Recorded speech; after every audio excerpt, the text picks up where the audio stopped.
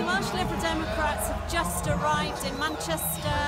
We're joining the protest march against the Conservative conference which is here. We want to try and get the message across that we want to stay in Europe.